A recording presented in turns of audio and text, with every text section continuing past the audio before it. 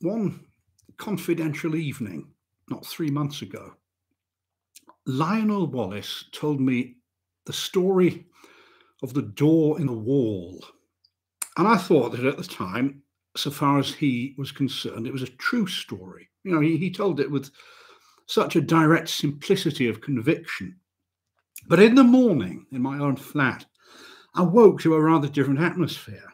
And as I lay in bed and recalled the things that he told me, stripped of the glamour of his earnest, slow voice and the shadowy atmosphere that wrapped about him, I saw it all as frankly incredible. He was mystifying, I said to myself. But how well he did it. And it isn't quite the thing I should have expected him, of all people, to, to do well at all.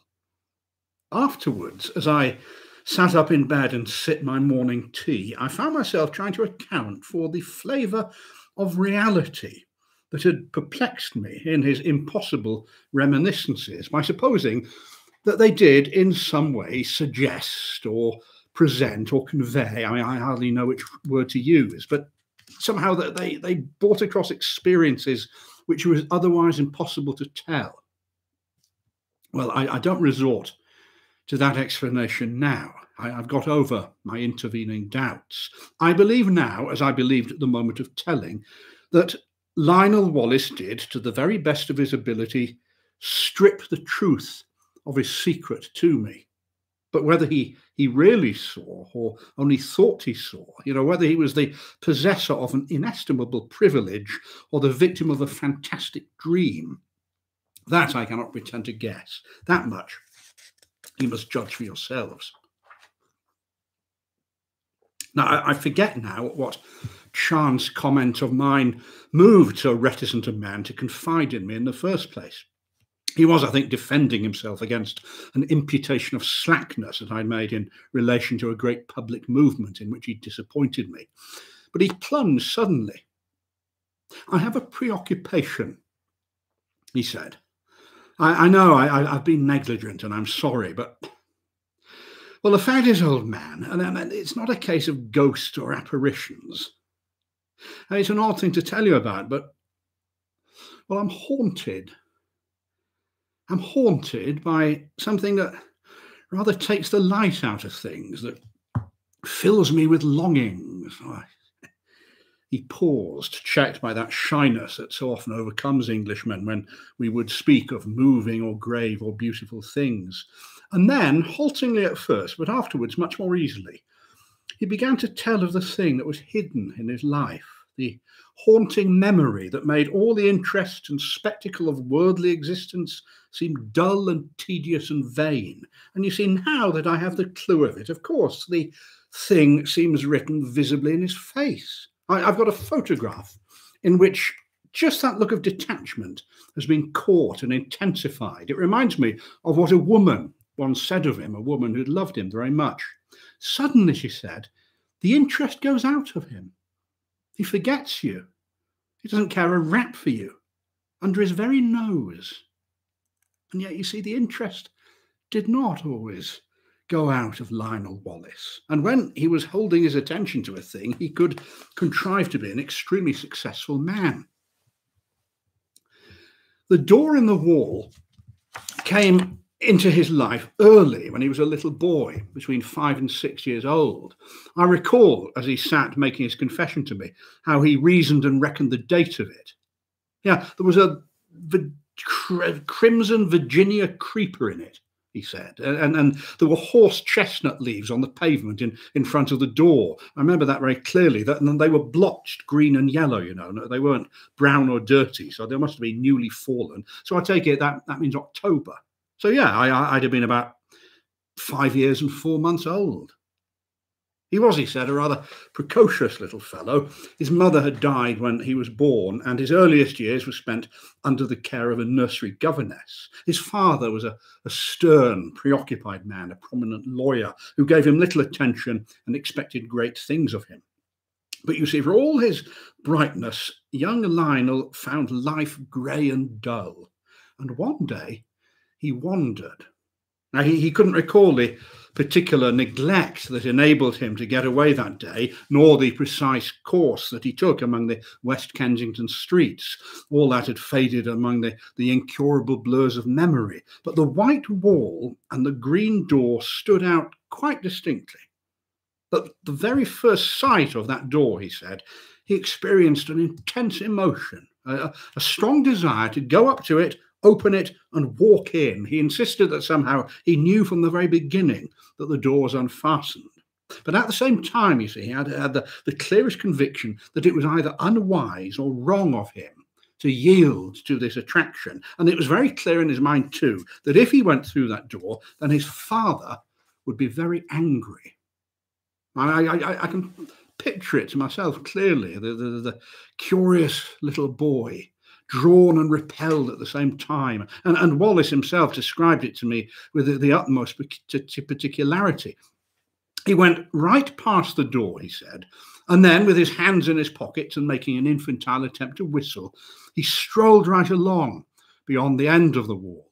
And there he recalls a number of dirty little shops, particularly that of a plumber and a decorator with a, a dusty pile of earthenware pipes and tins of enamel paint. He was pretending to examine these when suddenly, with a gust of emotion, he made a run for it, went plump with outstretched hands through the green door and let it slam behind him, and in a trice he came into the garden that haunted his life. Now, it was very difficult of Wallace to give me his full sense of the place. That there was something in the very air of it that exhilarated, he said that, that, that gave one a, a sense of lightness and good happening and well-being. In the very moment that the, the door swung behind me, I forgot the road with its fallen chestnut leaves and cabs and tradesmen's carts. You know, I forgot all the hesitations and fear and discretion, all the intimate realities of life, and I became in a moment a very glad and wonder happy little boy. He mused before he went on. There were two great panthers there, he said.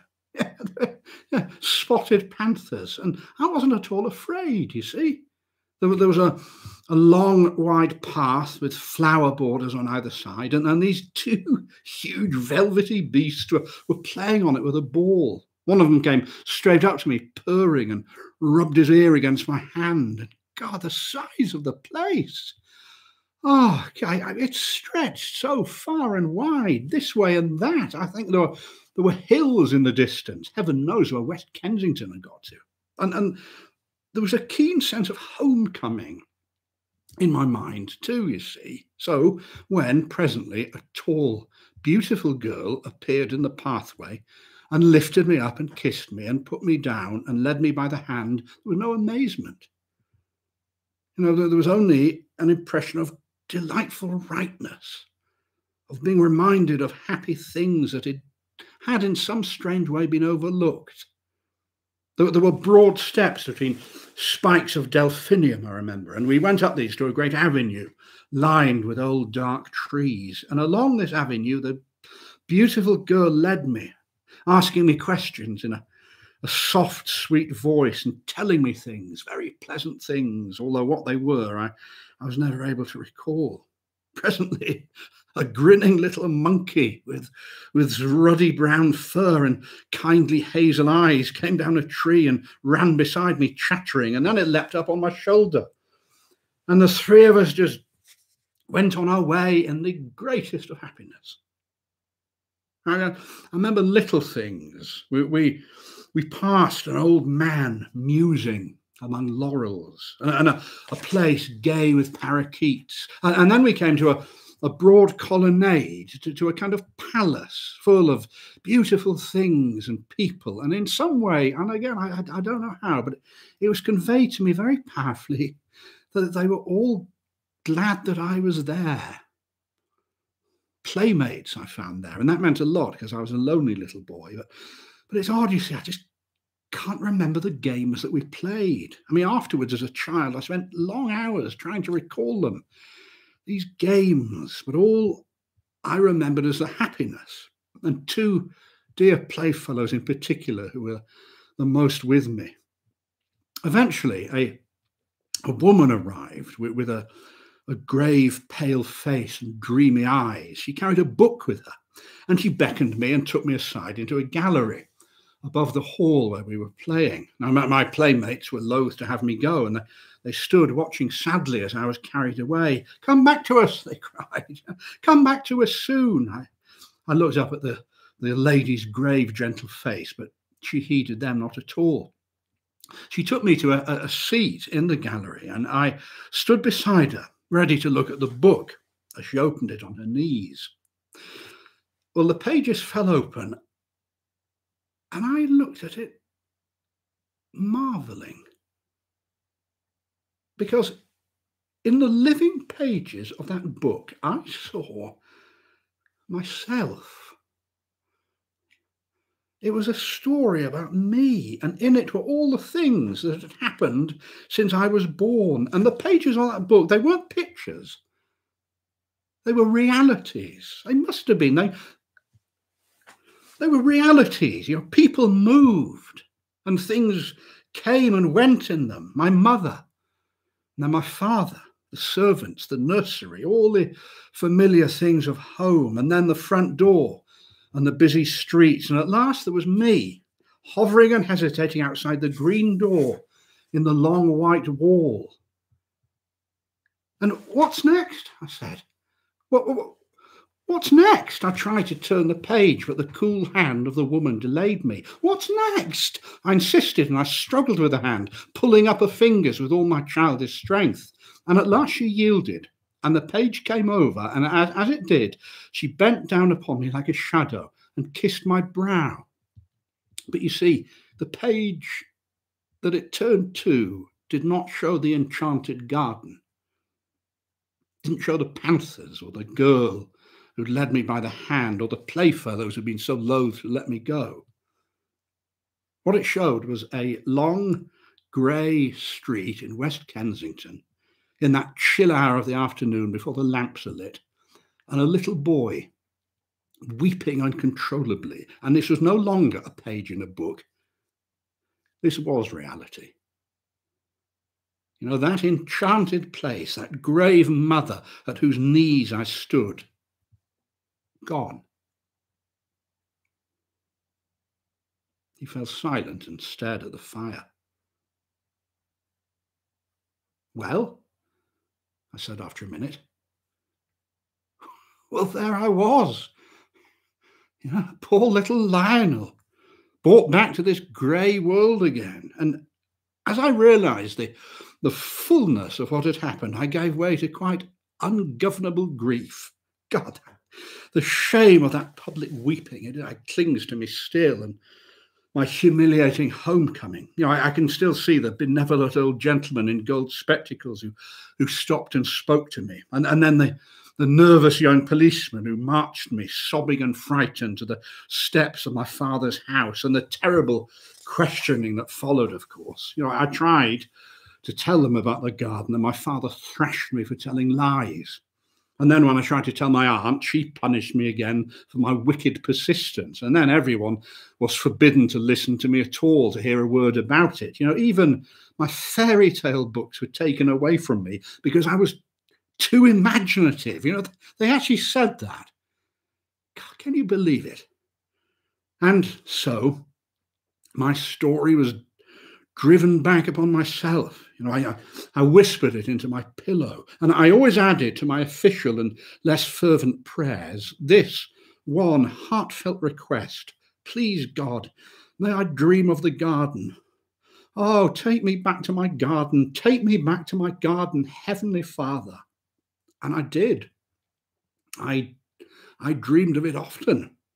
I mean, I, I, I added to it probably changed it, of course. I don't know. All this you must understand is an attempt to, to reconstruct from fragmentary memories a very early experience. Between that and the, the other consecutive memories of my boyhood, there is a, a very great gulf.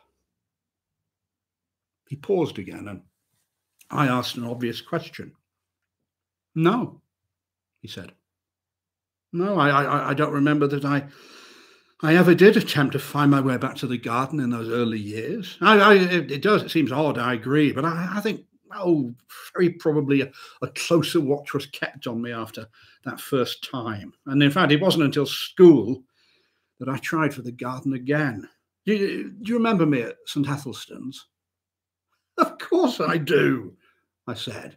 How can you possibly ask that? Yeah, I, I know, I know, but you, you, you never played Northwest Passage with me, did you? No, of course you you lived in the other direction. Well, it was a good game, Northwest Passage. The idea was to discover a, a new way to school. So you, you you started off ten minutes early in some almost hopeless direction, and you had to work your way round through unaccustomed streets right to the school gate. Well, one day I got entangled among some rather low class streets on the other side of Campden Hill. And I was beginning to think that for once the, the game would be against me and I'd be late for school.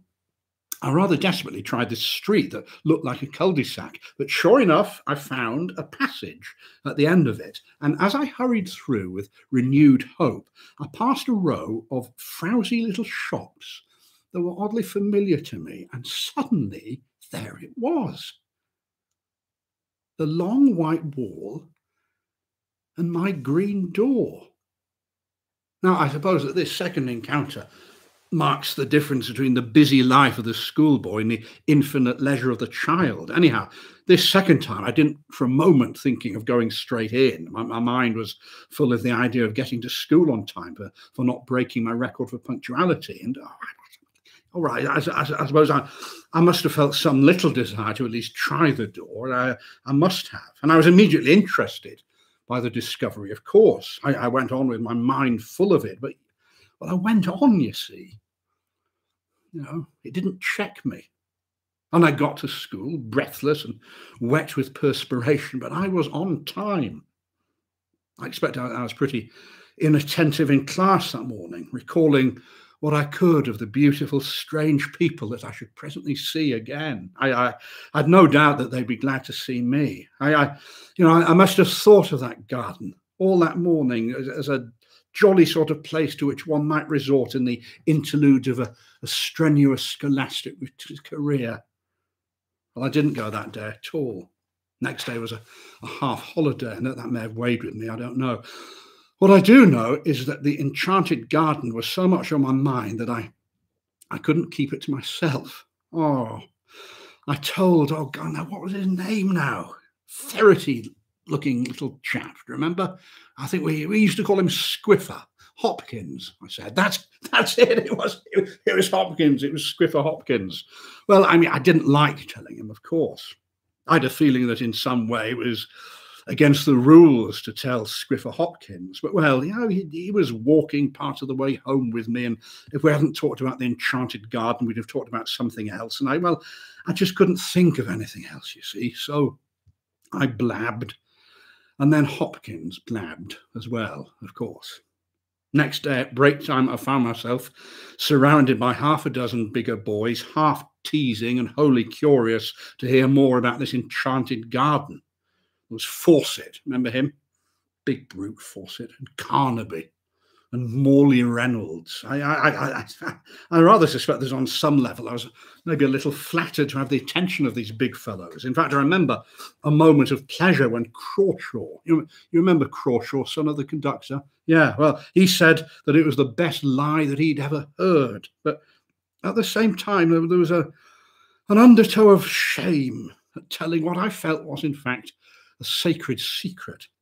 Fawcett made a, a nasty joke about the beautiful girl, and I, I, pretended not to hear. And then Carnaby suddenly got aggressive. He called me a dirty liar, and he, he got even angrier when I kept insisting that it was true. I said that I could lead them all to the green door in 10 minutes if they didn't believe me, and Carnaby said that I damned well have to. Well, did you ever have Carnaby twist your arm? No, well, lucky you is all I can say. There was nobody in the school then who would stand up to Carnaby, although Crawshaw did put in a good word for me, I'm glad to say.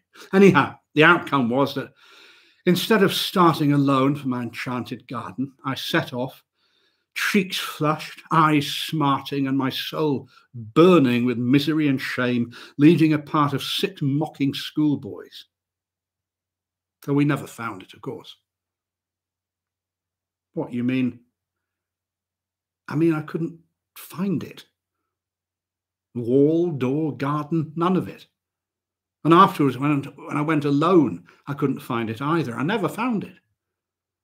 It seems now that I was always looking for it all through my school days, but I never came across it again. But did the fellows make it disagreeable? God, well, you can imagine, can't you? Absolutely beastly.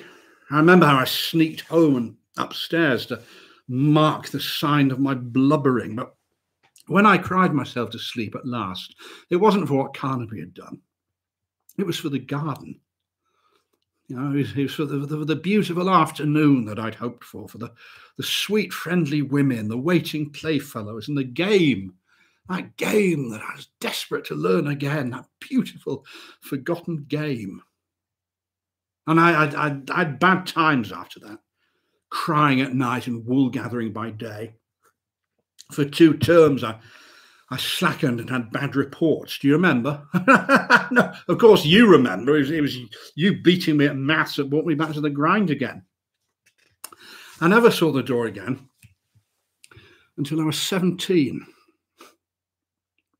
I was driving to Paddington uh, on my way to Oxford for the, the scholarship exam, and I, I just caught a momentary glimpse. I, I, was leaning over the apron of the cab, smoking a cigarette, no doubt thinking myself no end of a man of the world. And suddenly there was the door, the wall, the dear sense of unforgettable, unattainable wonders. I mean, I, I was too taken by surprise to, to stop the cab until we were well past and round a corner. And then I had this queer moment. It was a, a, a double and divergent movement of the wheel I tapped the little door in the roof of the cab and I immediately brought down my arm to pull out my watch.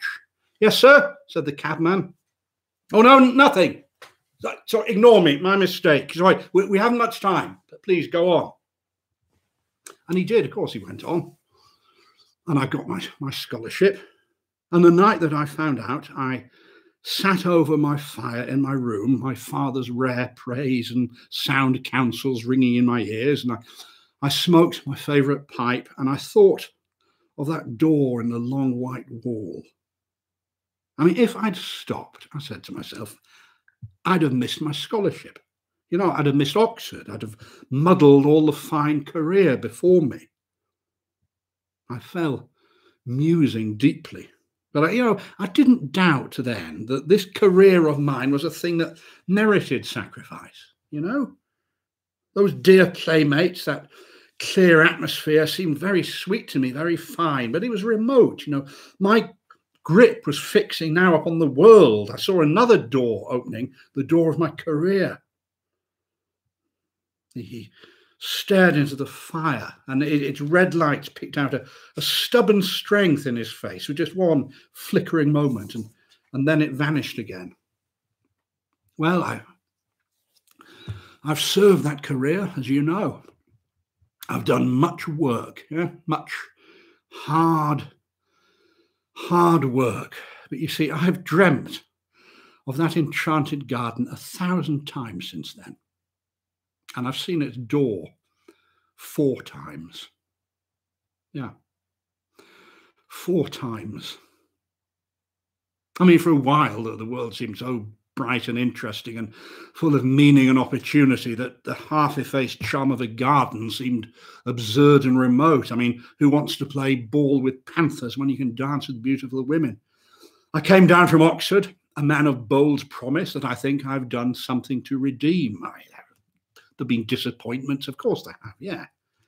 Twice I've been in love, and I'm not going to dwell on that. But you see, once as I went to someone who I know doubted whether I dared to come, I took a shortcut through an unfrequented road near Earl's Court, and I happened upon a white wall and a familiar green door. Now that's odd, I said to myself. I thought this place was in Campden Hill. It's the place that I could never find somehow, the, the place of that queer daydream of mine. You know, I, I had just a moment's impulse to try the door. You know, three steps aside was all that was needed. And, and I was sure in my heart, well, I knew that it would open to me. And then I thought that doing that might delay me on the way to that appointment in which I thought that my honour was involved. Well, afterwards, I was sorry for my punctuality. You know, I might at least have peeped in, I thought, waved a hand to the Panthers. But no, I mean, I knew enough by that time to not seek again belatedly that which is not found by seeking. And, well, yeah. That occasion did make me very sad. Years of hard work after that, of course. Never a sight of the door. It's only recently that it started coming back to me. And you see, with it uh, has come a sense as though some thin tarnish has spread itself over the world. all right, perhaps it's overwork. Perhaps it's what I've heard spoken of as the feeling of 40. I don't know. But what I do know is that the keen brightness that makes effort easy has gone out of things recently. And that just at a time when, with all these new political developments, when I ought to be working harder than ever. You know, I, I began a little while ago to want the garden quite badly and I've seen it three times since. What, the garden? I said.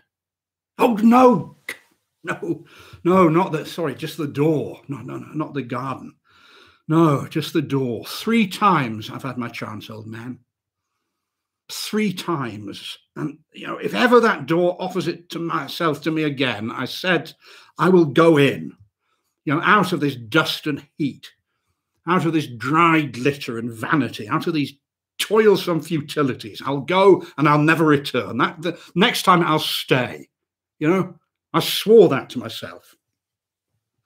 And when the time came, I didn't go. Three times in one year, I've passed that door and I've failed to enter it. Three times. First time it was on the the night of the snatch division on the tenants' redemption bill, on which the government was saved by a majority of three. I am sure you haven't forgotten that. I mean, no one on our side, perhaps very few in the opposition, expected the end that night. And then the, the debate collapsed like eggshells. Hotchkiss and I were, were dining with his cousin at Brentford, and we were suddenly called up by the telephone, and we set off at once in his cousin's motor. And we, we, we got there barely in time. On the way, we passed my wall and the door. It, it, was livid in the moonlight, blotched hot yellow as the glare of our lamps lit it, but it was absolutely unmistakably the same one. My God, I cried. What? said Hotchkiss. Oh, nothing, nothing, I said. And the moment passed. I've made a great sacrifice, I said to the whip as I got into the house. They all have, he said, and hurried by. But I suppose I, I, I don't see how I could have done any differently then.